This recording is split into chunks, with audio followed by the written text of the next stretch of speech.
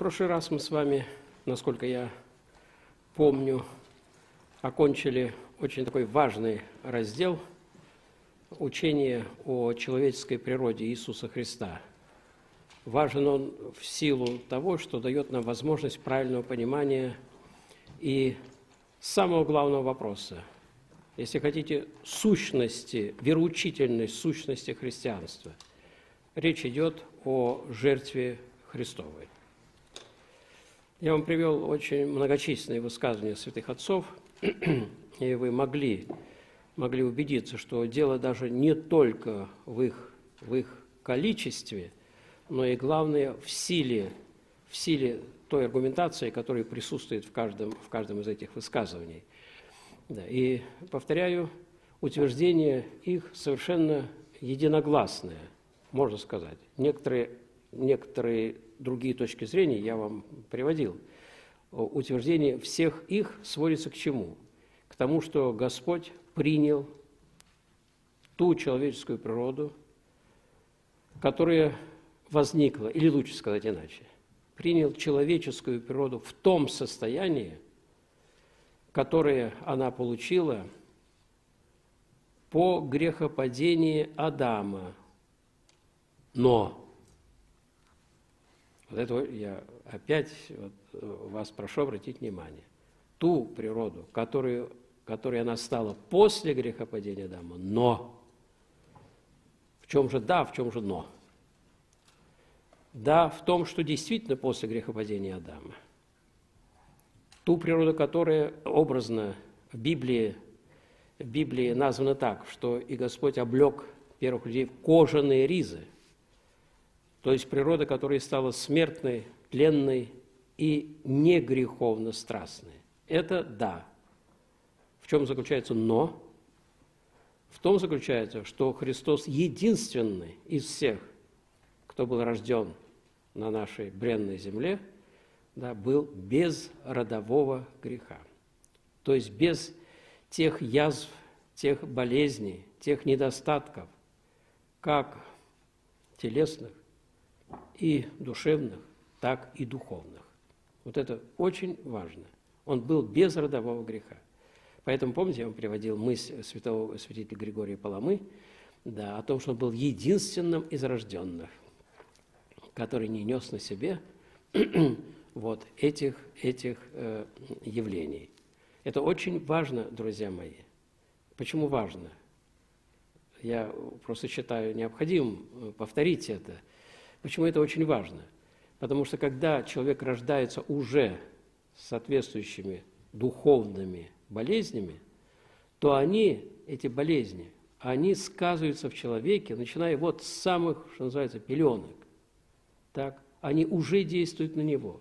И поведение его уже не вполне нормально, а может даже и ненормально. Маленький, еще ничего не понимает, а у него, смотрите, какие страсти. Уже настоящие страсти – до слез, какие капризы и так далее. Вот они, вот они, следствие, следствие родового греха, лучше сказать, следствие грехов, предшествующего всего человеческого рода. И особенно, особенно это сказывается, передаются эти наследственные болезни от кого? От родителей. О, я бы сказал так – это очень, кстати, очень обратимая такая картина. В Библии мы находим, что упоминаются грехи родителей до третьего и четвертого рода детей. Точно та же ситуация и обратно, скорее всего. Особенно действуют на, на детей 3-4 поколения до. То есть отец, родители, затем ну, кто, деды, затем прадеды, вот это особенно. И еще одно поколение. Три-четыре рода. Как сюда, так и в ту сторону. Это особенно, особенно серьезно действует. Вот эти вот родовые болезни, наследственные вещи, вот эти грехи. И как они действуют? Действуют по-разному. Еще хочу сказать, совсем не значит, что если, что если кто-то был убийца, значит, обязательно дети будут или, или внуки будут убийцами. Дело совсем не в этом. Мы не знаем, что последует из той катастрофы, которая произошла во время столкновения машин. У человека удар, так, трагедия. Но на чем это отразится, этот удар? Мы не знаем на чем. На почке, на селезенке, на печенке, на сердце. Да, я, понимаете образа, на, на голове отразится, в конце концов, на психике. Да, мы не знаем на чем, мы не знаем этого внутреннего механизма, мы не знаем. Важно что? Для нас важно, важно понимать, что этот удар, удар, он отразится. А куда он вылезет, это вопрос уже другой. Та же самая, самая суть-то в чем? Что все наши предшествующие предки, они, конечно, грешили. То есть уязвляли свою душу, ранили ее. Вот эти удары у них эти были разной, кстати, степени, разной силы. Недаром в церкви есть разделение грехов на грехи и смертные грехи. Особенно тяжкими последствиями обладают смертные грехи для души человека и для последующих родов. Особенно смертные грехи. Еще раз вам повторяю, друзья мои, пожалуйста, в проповедях говорите это. Будете вот священниками, будете венчать. Говорите это обязательно, Владыка. Это же серьезнейшая вещь. Это просто долг совести это требует. Уж не говорю долг любви. Особенно смертные грехи тяжко действуют. Это все равно, что сильный удар. Катастрофа. Когда от машины ничего не остается, человек, говорят, едва жив. Но потом выживает, все кажется нормально.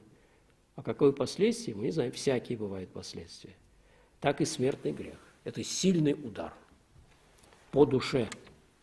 По душе прежде всего. Нас интересует именно духовная сторона. Мы о духовной стороне. Когда мы говорим о грехе, мы говорим о духовной стороне, не о душевной и не о телесной. Это пусть занимаются этим медики, биологи. Вот, это уже их дело. И, кстати, всегда в народе тоже смотрели. Если ненормальные кто-то, из этого рода не берут когда психика ненормальна. Опасно. Это просто опасно. Обязательно знакомились, выясняли все это, узнавали. Но в данном случае я говорю, поскольку о родовом грехе, то я говорю о стороне духовной. Так вот, значит, все мы в разной степени, но все мы поврежденными рождаемся. Потому что все наши предки, все они грешили. И родители наши тоже. Правда, степень этого греха различная.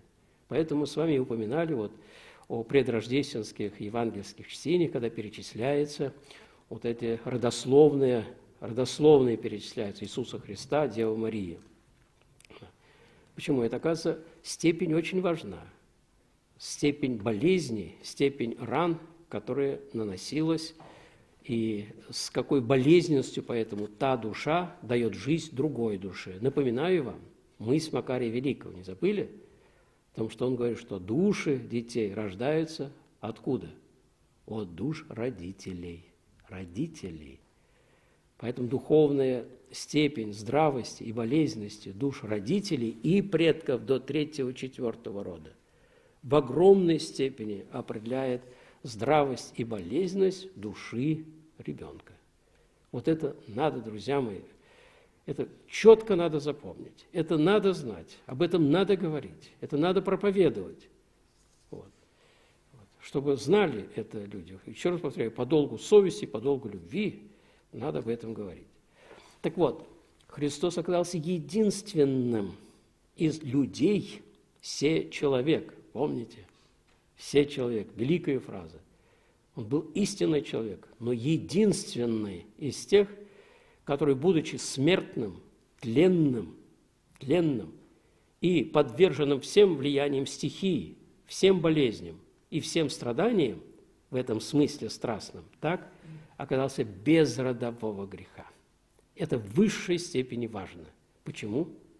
Потому что он сказал, аз е, он есть истина, я есть истинная жизнь и путь мы все с вами, никто не можем быть полноценной истиной. Мы все больны, и всюду обязательно искривление происходит у нас. Как во время похода. Знаете, идут, особенно по лесу, я это знаю хорошо. Прошло пять минут, десять, компас смотришь, уже не туда повернули. Незаметно, так и мы с вами. Христос есть истина в этом смысле полноценная, неукоризненное. И он мог проповедовать поэтому эту истину чистую, чистую, ибо сам был не поврежден духовно. Вот это очень, друзья мои, для нас важно.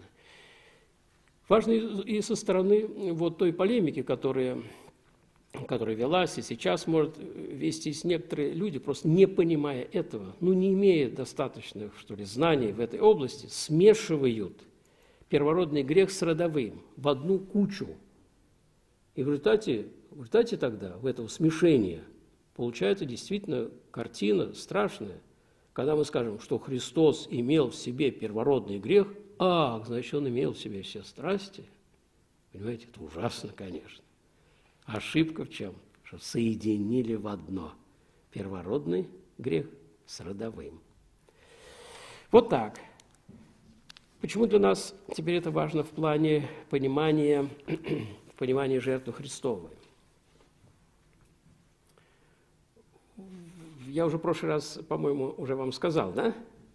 Сказал о том, что есть разные интерпретации. Я просто напоминаю, друзья, как всегда, это очень важно для логики э, наших лекций, да, что, оказывается, есть два понимания жертвы. Помните, жертвы как умилостивление, как просьба о, о прощении грехов, и жертва как жертва любви, которая совсем не связана с этими вещами. Это просто жертва любви и все. Самопожертвование. Это очень важно нам для того, чтобы понять существо жертвы Христовой. Вот западное богословие, как мы уже с вами говорили, оно пошло по пути первого понимания жертвы. То есть вот это иудео-языческого понимания жертвы, когда умилостивление божества. Поэтому приносились эти кровавые, кровавые жертвы. А вот второе это понимание, которое же налицо мы встречаем в жизни, и тоже встречаем же нередко, жертву любви. Мы же очень нередко встречаем, особенно во время военных действий. Особенно возьмите, когда наша армия, наша русская армия была действительно православной армией. Особенно часто мы там встречаем эту жертвенность. И до сих пор мы встречаем эту жертвенность, когда человек часто собою заслоняет друга, умирая, погибая сам. Это жертва любви. Это, если хотите, это самое ценное, самое благоуханное, если хотите, жертва. Так вот, когда мы говорим о жертве Христовой, то только, только это понимание жертвы и дает нам, дает нам, раскрывает, если хотите, нам существо того, что совершил Господь Иисус Христос. Почему мы бесконечно Ему благодарны – Почему бесконечно Его словословие? Преклоняемся, благодарим. Преклоняемся как? Не рабски преклоняемся, слышите? Забудьте это. Нет в христианстве рабства. Рабское преклоняется в иудеоязычестве. У нас это преклонение благоговения величайшего, благодарности величайшей. Слышите, почему падаем на колени, почему проливаем слезы? Это благодарность той любви, которая которая ради нас совершила такой подвиг. Вы слышите? Вот, оказывается, кому мы поклоняемся, а не как рабы.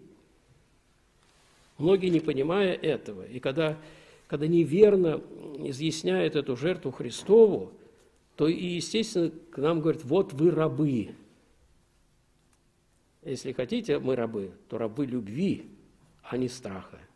Рабы благоговения и благодарения, да а не того, а не боязни того, что сделает с нами Бог. Вот это очень важно помнить, друзья мои, очень важно. Повторяю еще раз, Бог есть абсолютная любовь, и никакие моления не могут сделать его большей любовью, чем он есть, поскольку он, повторяю, абсолютная любовь. Наши молитвы не Бога разжалобливают, совсем нет. Наши молитвы они наше сердце переделывают, потому что молитва есть акт нашей свободы, нашей воли, нашего благоговения. Она нам необходима, эта молитва, а не Богу. Вот. Итак, в чем же существо жертвы Христовой?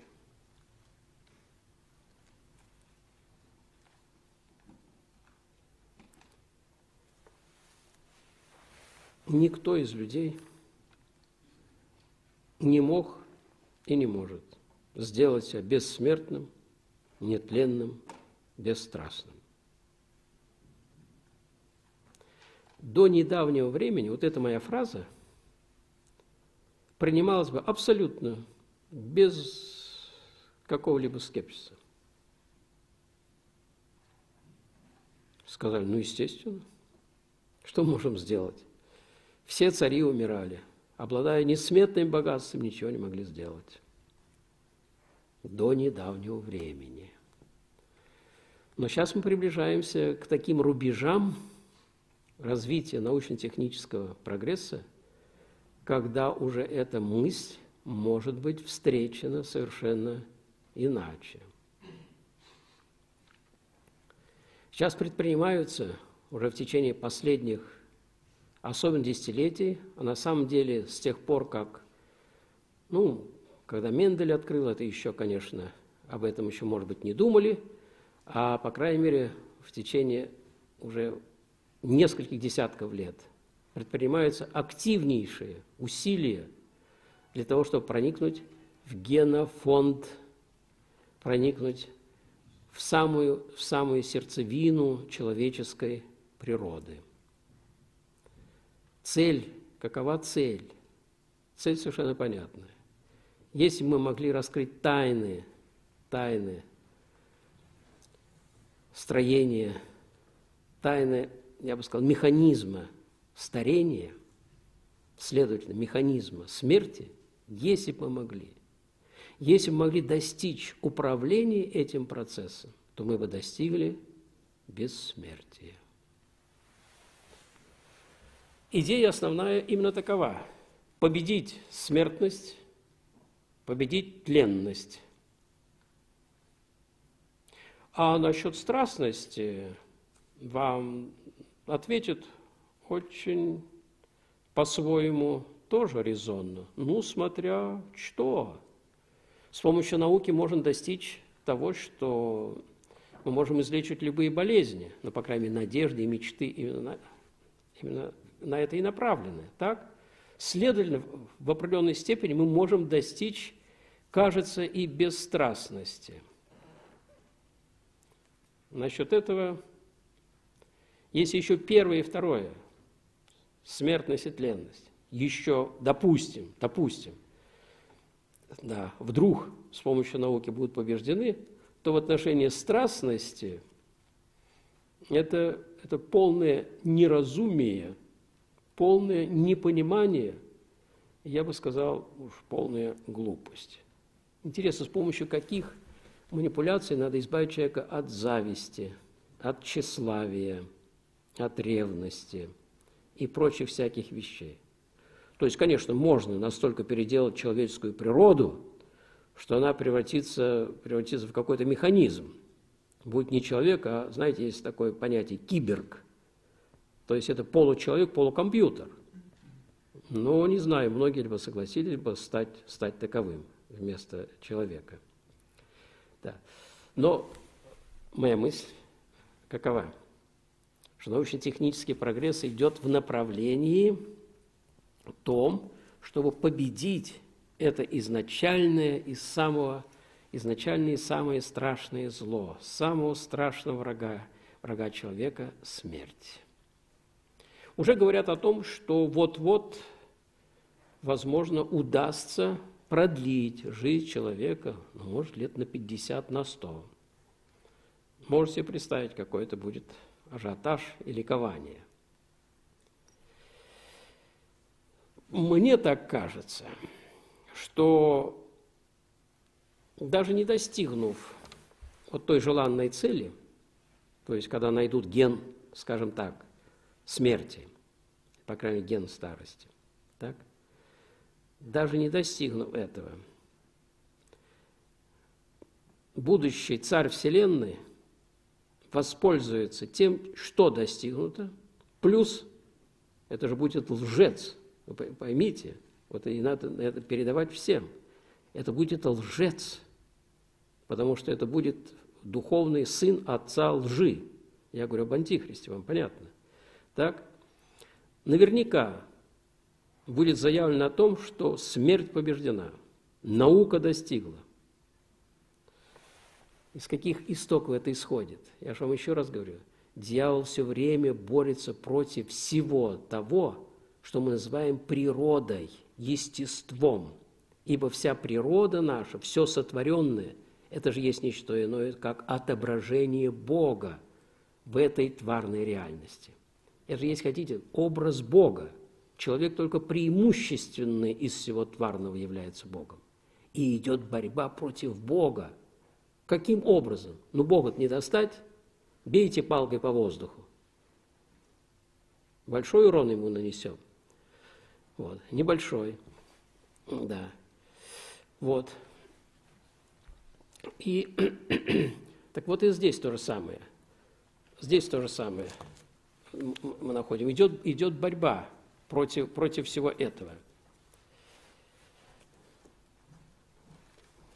Спасибо.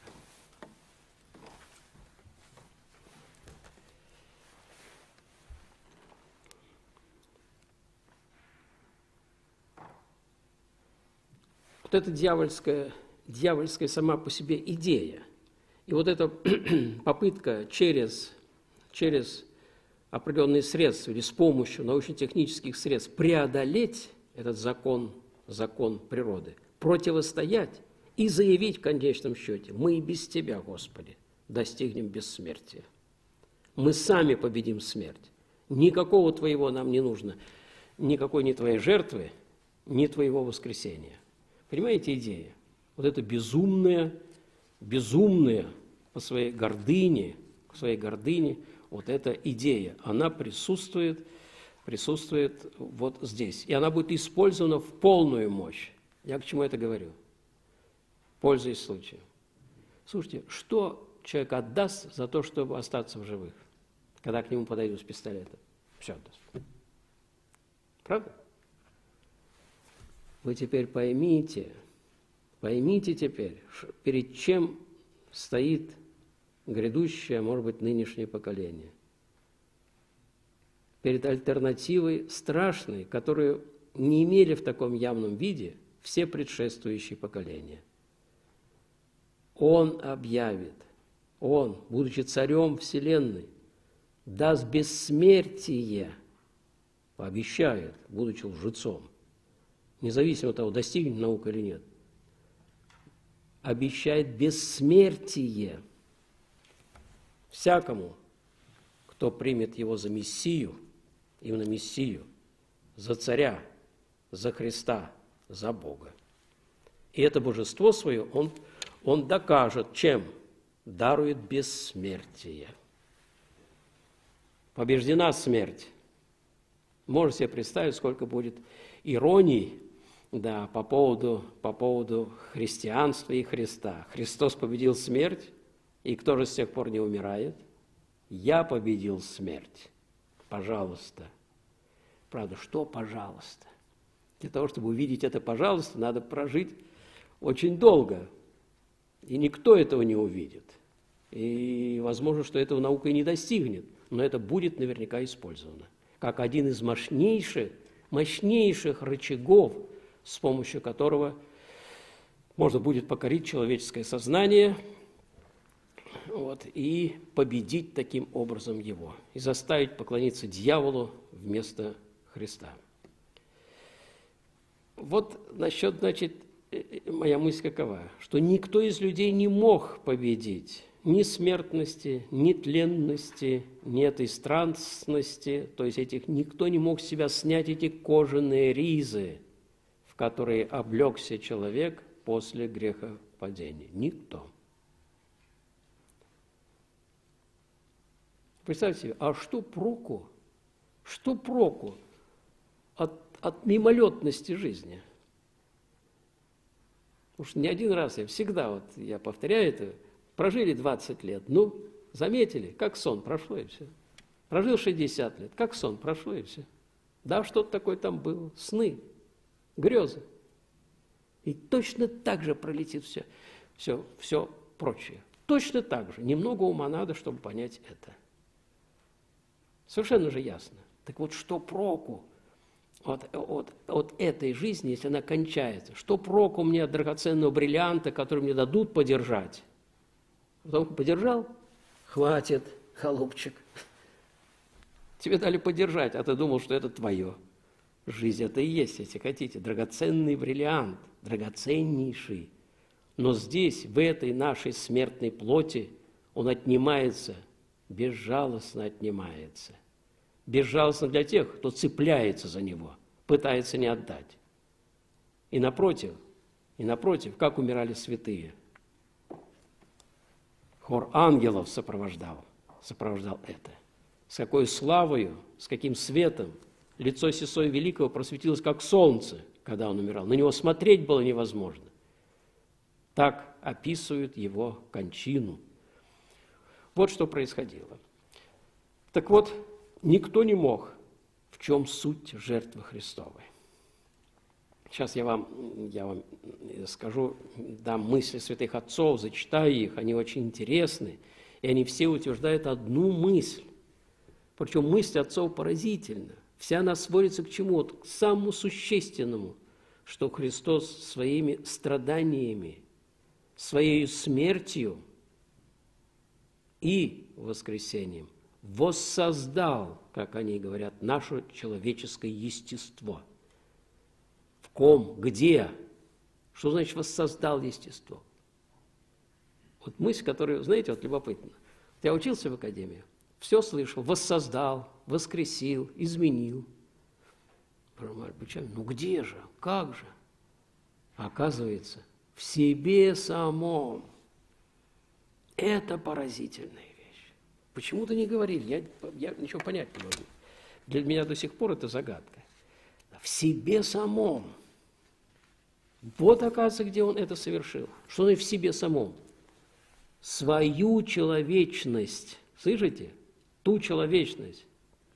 Те кожаные ризы, которые он добровольно взял на себя – эту смертность, тленность и страстность, которой, которой он был подвержен в полной мере.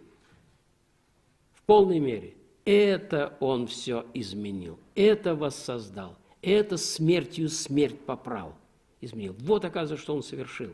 Свою человечность, свою человеческую природу, воспринятую им, он воскресил, потому что это правильно, воскресил, потому что наше сейчас естество какое? Смертное. Смерть только тлеет. Все, родился человек, все. И смертный процесс начал развиваться. Вы слышите? Смертный процесс же развивается же в нас. И в конце концов заканчивается. Вот это убито было ими. В себе самом, то есть свою человечность он, он изменил – победил, победил вот эти три, эти три смертность, ленность и страстность. Как победил? Через страдания. Вы понимаете, какие вещи? Через страдания. Это вообще поразительные вещи, которые, которые мы находим. Ни о каком удовлетворении правосудию Божьей даже речь не идет. Какое удовлетворение? Какая дикая вещь. Речь идет о фундаментальных онтологических вещах, происходящих с природой человека. Вы слышите? Он, он-то сущий, о самой сути человеческой природы. Вот о чем идет речь. Вот что совершено. Какие основания для этого говорить у нас? Вопреки вот этой вот западной, и которая вошла затем в наши догматические пособия, это просто сущая беда, да, когда удовлетворение правосудию Божию какое-то внешние юридические отношения. С природой с нашей произошло изменение. Вот в чем спасение. Вот почему Спаситель. Природу где? В себе. Итак, теперь основания. Основания теперь какие? Ну, я не знаю, стоит мне говорить вот, вот это юридическое, вы, наверное, по догматическому богословию все-таки, наверное же, проходите, но я вам приведу одно интересное рассуждение да, профессора Несмелого Казанской духовной академии. Попробуйте, я буду внимательно, э, медленно читать, чтобы поняли его мысль. Она очень интересная. Ведь ни один здравомыслящий человек никогда не допустит, что будто бы ради справедливого прощения своего обидчика он сам должен перенести то наказание, какое по закону следовало бы перенести его обидчику, и что будто лишь после этого наказания он может с правдой и любовью простить своего обидчика. Так он пишет по поводу юридической теории искупления. Трудно, правда? Сразу и не осмыслишь. Окажется, что простить обидчика, я должен перенести все наказание за него. Христос, чтобы простить людей, оказывается, должен перенести за них наказание. И только тогда уже можно простить этого человека. Он говорит, что это за недоумение? Откуда взяли такую дикую вещь? Не случайно Лосский, Владимир Лосский писал, само понятие искупления носит чисто юридический характер. Это выкуп раба. Юридическое является и тема посредника, крестом соединившего человека с Богом. Это значило бы создавать между Богом и человечеством недопустимые правовые отношения. Но то, что эта мысль утверждается в наших вот учебниках, это вы уж знаете, знаете великолепно. Что же, что же произошло? Каково вот положительное понимание этого вопроса? Начну с самого, пожалуй, существенного. Послание к евреям. Ибо надлежало, чтобы тот, с большой буквы тот, для которого все и от которого все – приводящего многих сынов в славу. Речь идет о Боге, о Боге, Отце. Так? Вождя спасения их, людей. Вождя с большой буквы, конечно. К сожалению, у нас написано с маленькой буквы даже. Вообще русский перевод Нового Завета. Знаю, почему не берутся за него. Прям комиссия, компетентная комиссия должна быть. Столько там прям, не знаю, недочетов, просто беда. В частности, вождя спасения их, речь идет о Христе же. Вождя спасения их совершил через страдания. Евреям 2 глава, 10 стих. Если бы вы мне, кто в сочинении, написали такую фразу, я бы жирным красным подчеркнул, написал бы «язык». Не умеете писать по-русски – как это, вождя спасения их совершил через страдания. Совершил через страдания. Что это такое? Кто так пишет? Слово «совершил» мы что понимаем? Сделал. Совершить, сделать. Вот вам русский перевод. Нельзя так писать? Нельзя. Почему написали? Объясняю. Почему написали? в греческом тексте, то есть подлиннике, с которой это переводит, стоит глагол «телиосе». «Телиосе». Так? Что это значит? Глагол «телиосе». Слово «телео» означает, вот посмотрите словарь, увидите, означает доводить до конца, заканчивать, доводить до совершенства – делать совершенным. И именно этот смысл вы найдете очень, очень во многих местах. В том же послании к евреям это просто несколько, один за другим тексты, да, которые говорят именно об этом, что оказывается телиосе в данном случае это что значит?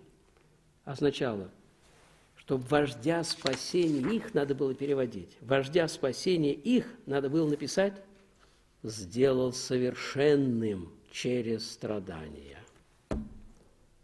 Скажите, у кого поднимется рука? Что через страдания Христос стал совершенным. Трогнула рука переводчика. И написали бессмысленное с точки зрения языка слово «совершил». А почему? Потому что эти переводчики все были воспитаны – все знали, все знали то, что написано в наших догматических учебниках. что Христос был абсолютное совершенство, и его уже нечего было совершать. Забыли о том, что да умолкнут утверждающие. Помните, я вам приводил, как Афанасия Великого? Да, да умолкнут утверждающие, что естество Христово было бессмертным по естеству, с восклицательным знаком, уже с негодованием, значит, уже тогда раздавались эти мысли. Христос, как человек, был смертным, тленным и неукоризненно страстным. Что совершилось? Христос был совершенным в духовно-нравственном смысле. Грядет князь мира сего, и во мне не имеет ничего. Кто обличит меня во грехе? Я есть путь истины и жизнь. Оказывается, оказывается, естество же природа-то его была, какова? Смертная, тленная и страстная. И вот, вот в чем совершение, что оказывается, тот, для которого все, от которого все, то есть Бог, Бог по отношению к его человеческой природе совершил через страдания кого? Его, Христа. Мы видим его воскресшим. Каким видим? В, есть, в природе человеческой бессмертной, нетленной, бесстрастной. Вот что совершено. Эти великие слова. Хорошо они, вот есть, оказывается, послание к, евреям. И затем это еще повторяется, эта мысль неоднократно. Да. Эта мысль повторяется. Потому что она, она открывает нам – тайну жертвы Христовой. Через страдания. Какие еще страдания? Так, произошло умер... страдание до смерти, до смерти. И этой смертью убита смерть и тление и страстность. Вот в чем, вот в чем дело. Григорий Богослов так и пишет. Главное одно – мое совершение – он говорит о человеке, не лично, а совершении. Да, воссоздание и возвращение к первому Адаму. Видите, какие тут значит, вещи мы усматриваем здесь. Первое, что страдания совершили Христа человека, то есть сделали его совершенным. Во-вторых, что необходимы страдания, оказывается, для этого совершенствования, для совершения. Не просто так, а необходимы страдания. Обратите, кстати, внимание на поразительную вещь. Вот вы проходите историю религий, и там касаетесь, конечно же, вопроса, вопроса аскезы. Во всех религиях, в разной форме.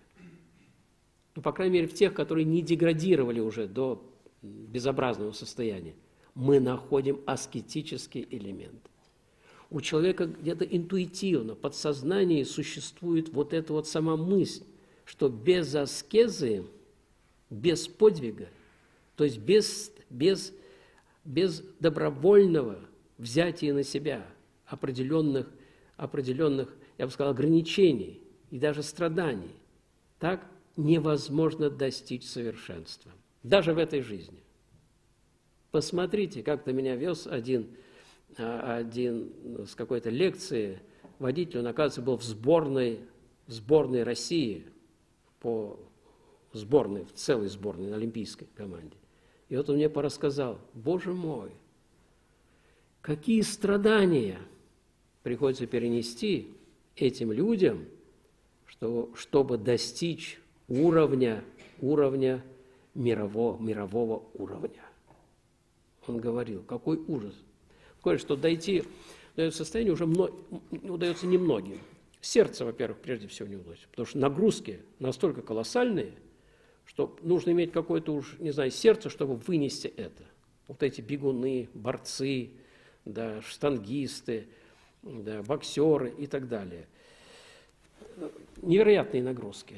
И поэтому уже остаются буквально вот эти единицы, которые доходят до, до нужного уровня. Потому что нагрузки сейчас уже предельные, уже буквально предельные уже нагрузки для человеческой природы. Всюду сквозит одна и та же идея. Невозможно достичь ничего, не подвязаясь. Невозможно. Это принцип. Обратите внимание, когда ученики не смогли изгнать беса, помните с бесноватого, что Христос им сказал? Сей род изгоняется молитвою и постом. Слышите? Как это для нас неприятно. Вот молитва – это пожалуйста. Пожалуйста, я прочитаю любую молитву, или сколько угодно молитву, еще окроплю вас так, что только держитесь. Это пожалуйста.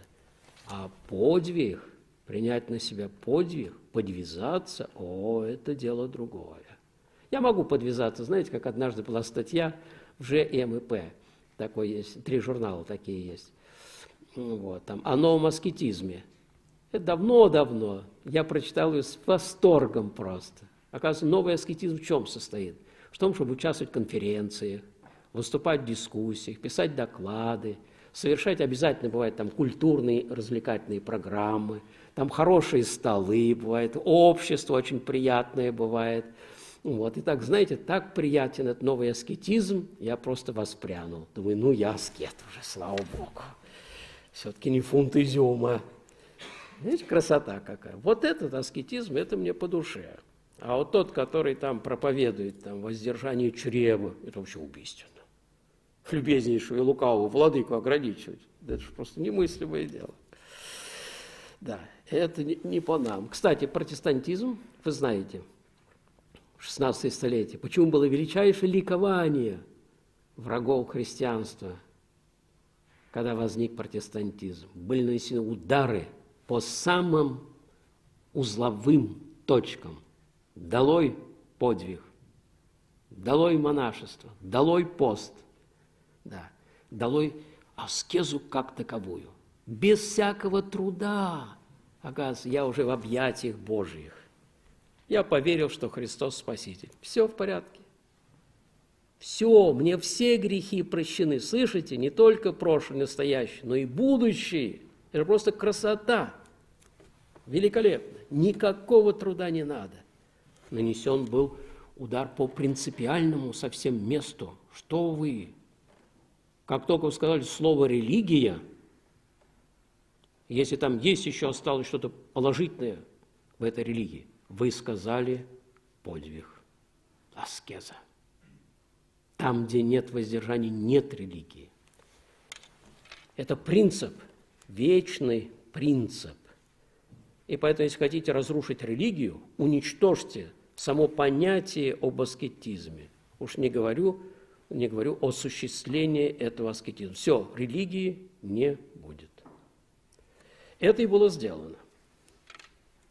В этом, в этом плане протестантизм, он еще глубже опустился по сравнению с католицизмом. Еще глубже. Погряз вот эту пучину мира с и дистеричным. Так вот, Значит, вот в чем дело в жертве Христовой. Вот суть. Совершил вождя спасения их. Прошу вас запомнить это. Вождя спасения их совершил телиосе через страдания. Евреям 2.10. Произошло воссоздание человеческой природы – Кожаные ризы сброшены, дебелость уничтожена. И мы видим, какова истинная природа человеческая. Для нее не существует, не существует уже никаких пространственных, никаких материальных преград. Не существует уже. Она приносит только радость. Не случайно первые слова Христа, которые сказали «радуйтесь» и, и дальше пронизано этим. Был нанесен под корень удар, под самый корень вот этой вот, вот этой дебелости человеческого естества. Почему? Как? Мы об этом будем с вами говорить, но пока, пока скажу только одно. у апостола Христос назван новым Адамом, вторым Адамом. Адам кто? Тот, от которого начинается род человеческий. Христос назван этим новым Адамом, то есть тем, от которого начинается новый род человеческий. Вы слышите, кем назван? От него. И как от ветхого Адама начался ветхий род всех нас, так, оказывается, и от нового Адама начинается новое поколение людей. Эти люди именуются христианами. Но если от ветхого Адама мы рождаемся стихийно, помимо нашего сознания, нашей воли, нашего участия, без нас, то от нового Адама человек может родиться, действительно, может родиться только сознательно, сознательно, с пониманием, с желанием, с волей. Почему Господь и сказал, кто веру имеет и крестится, спасен будет. Этими словами нанесен, если хотите, еще один удар по языческому мировосприятию, по языческому восприятию Бога. Видите, какое дело? Не сказал же, кто просто крестится, спасен будет. Или просто сказал, кто веру имеет, спасен будет в лютеранском протестантском смысле. Не сказал же, достаточно совершить священное действие, кто веру имеет. А под верой он прямо сказал, меня любит тот, кто исполняет заповеди мои. То есть здесь уже новое человечество, первым из которых первенец из мертвых. Слышите, первенец из мертвых назван Христос. Как оно? Что это за род? Каким оно будет? Это те, это те, которые, которые сознательно, понимаете, разумно, волевым образом примут его, его понимание жизни – примут его понимание, то есть то, которое Христос говорит, его понимание истины, смысла жизни и так далее, сознательно примет, вы слышите? И постарается, насколько это только возможно, идти по этому пути. Вот кто станет. Каким образом? Просто примет. Просто уверует. Говорит, нет, креститься. Оказывается, оказывается, есть еще нечто, нечто, что необходимо человеку. Что же это такое? Апостол Павел церковь называет телом Христовым. Каким телом Христовым? Вот тем вот новым воссозданным телом Христовым. Апостол Павел христиан называет как членами тела Христова. Понимаете? Членами тела Христова. Это же интереснейшие вещи какие. И вот оказывается, оказывается что, что человек может стать членом тела Христова каким образом? Через веру, то есть сознательное принятие христианства и приобщение церкви, которое совершается в таинстве, в частности, крещения. Но об этом мы еще с вами поговорим более подробно. А сейчас я, чтобы не быть голословным, приведу вам кое-какие, по-моему, интересные мысли отцов, как они понимали жертву Христову, что совершил Господь на кресте. Конечно, их очень много, но я думаю, что из многого можно что-то, может быть, останется что-то малое, и это уже будет хорошо, хотя бы. Из многого малое. Я не могу не зачитать, потому что настолько это важно, и настолько их мысли ясны, четкие, и все они говорят об одном и том же, главное, самую суть. Я выбрал именно то, что говорится самую суть, потому что очень часто у святых отцов мы находим, вы же знаете, много образных выражений. Вы же знаете, именно образных выражений – сравнений, метафорических высказываний. Да. А здесь именно они говорят по существу. Да. Именно самую суть, что совершил Христос. Вот, и начну, может быть, с Иринея Леонского, самого такого древнего отца. Итак, один Бог Отец и один Христос Иисус Господь наш, имеющий прийти ко всеобщему устроению и все восстанавливающий в себе. Во всем же есть и человек, создание Божие. Поэтому и человека, восстанавливая в себе самом, Слово стало человеком, все восстанавливая себе – я читаю «восстанавливая», но перевод немножко старый, тут все написано «восстановляя». Но, по-моему, «восстановляя» сейчас так не говорят же, кажется, да? «Восстанавливая». Да. Василий Великий. Ибо это главное в спасительном домостроительстве во плоти – привести человеческое естество в единение с самим собою и со Спасителем, и, истребив лукавое рассечение восстановить первобытное единство. Он утверждает, и как и все святые отцы утверждают, что, вот, может быть, я не говорил, и, кстати, будет очень э, важно сказать. Дело вот в чем, что вот этот родовой, то, что мы называем с вами родовым грехом, что он делает с нами? Он рассекает, понимаете, нашу, наше естество как выражается тот же Василий Великий, на тысячи частей. По существу речь идет о чем? О рассечении нашего духа, души и тела. Рассечении этой тройственности, которая присутствует в природе человека. Ум прямо говорит, вот что надо делать. Ум говорит, говорит, ясно, ясно. А сердце влечется к другому искушение. А тело вообще плюет на того и на другого. Вот тебе на. Щука, рак да лебедь. И человек воз и ныне там и остается. Ум в одну сторону, сердце в другую, тело в третью. А каждый из них еще сколько там всякой всячины. Вы понимаете, что происходит в человеке? Следствие это чего? вследствие покорения, добровольного покорения человека страстям своим, когда он не борется с ними, они развиваются, и каждый тащит в свою сторону.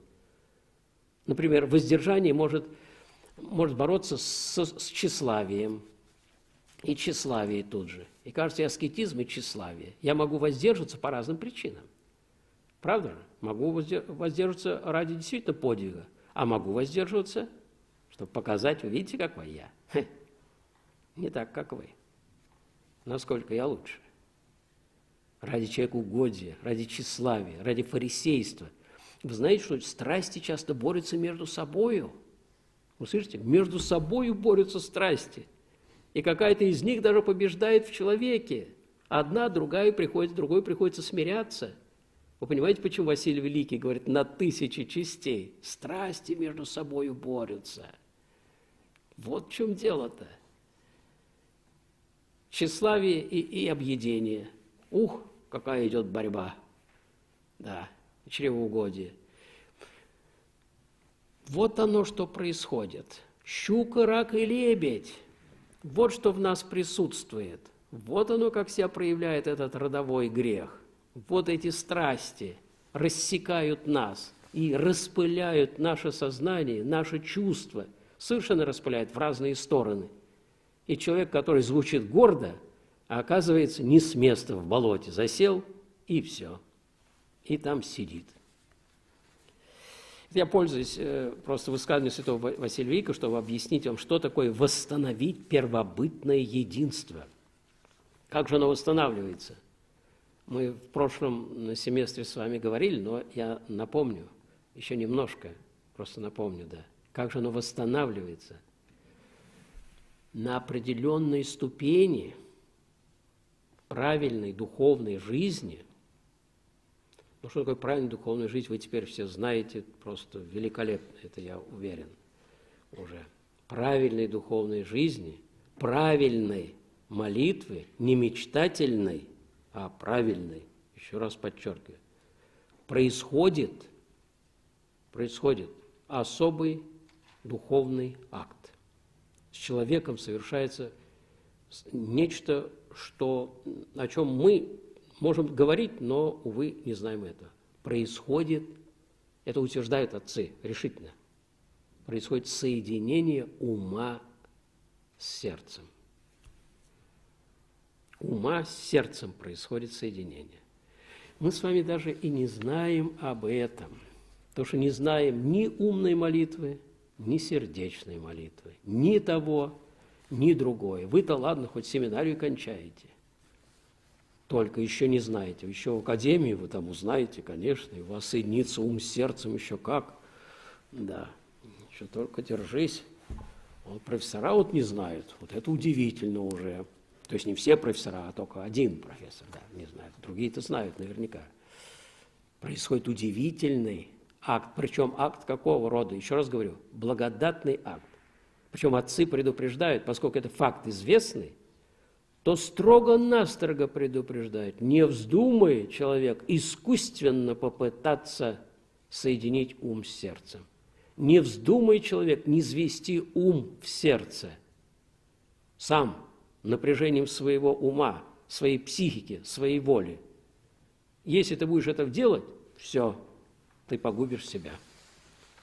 Понимаете, какие серьезные вещи. Ни в коем случае нельзя этого делать.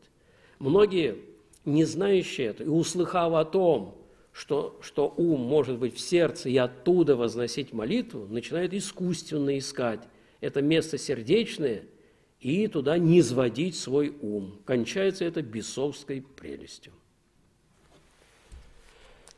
Предупреждаю вас, это просто заранее об этом. Ну, правда, мы с вами этим не будем заниматься, уж, Господи. Да, зачем нам там умно-сердечная молитва? Правда же, мы без нее обойдемся с вами, мы и так хороши.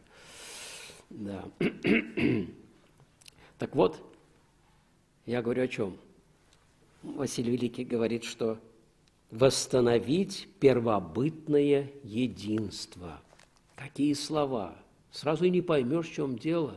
А оказывается, при правильной духовной жизни происходит воссоединение ума с сердцем, и тело, и само тело тогда присоединяется к этому.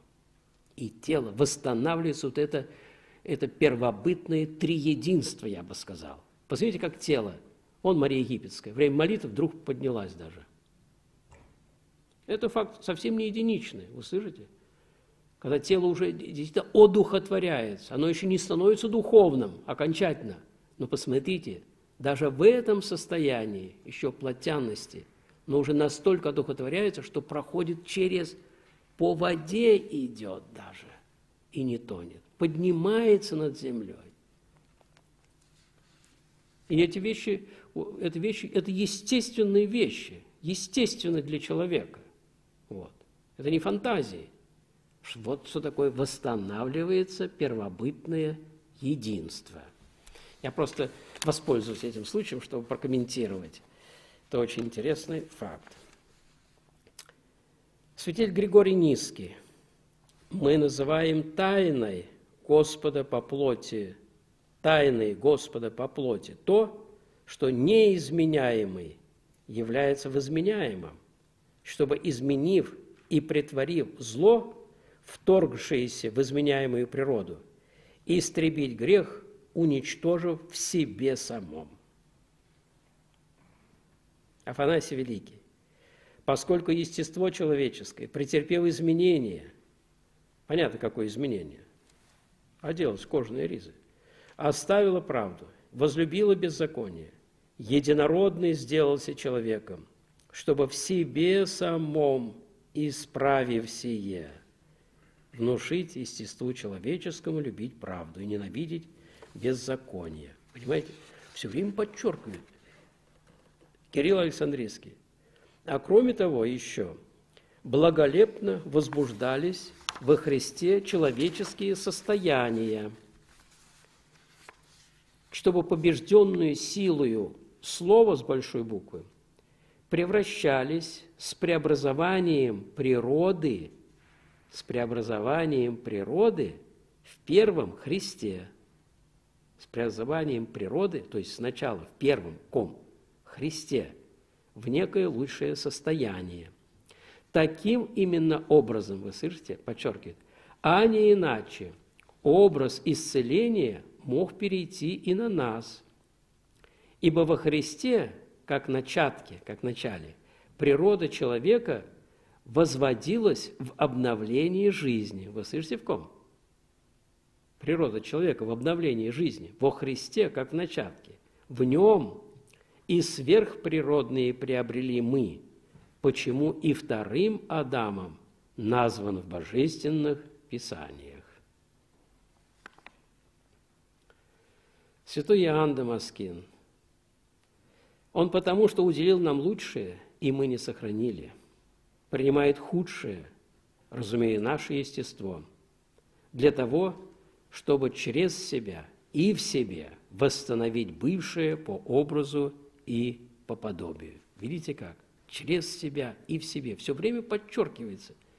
Максим Исповедник, чтобы совершенно истощив в себе пагубный яд их злобы, как то истощает огонь, полностью уничтожить его в естестве человеческом и совлечь себя во время крестной смерти, начала и власти – Начало – то, что господствует над нами вот в этом поврежденном состоянии. Он же говорит, он был не просто человек, но Бог вочеловечившийся для того, чтобы через себя и в себе обновить естество человеческое и соделать его общником Божьего естества. Вы подумайте, всюду просто печенье такое, что они друг у друга списывали. Вот если бы я проверял их сочинения, мне бы дали, я бы двойку поставил тут же. Списывают явно. Все одно и то же. В самом себе, через себя и в себе. Это что ж такое?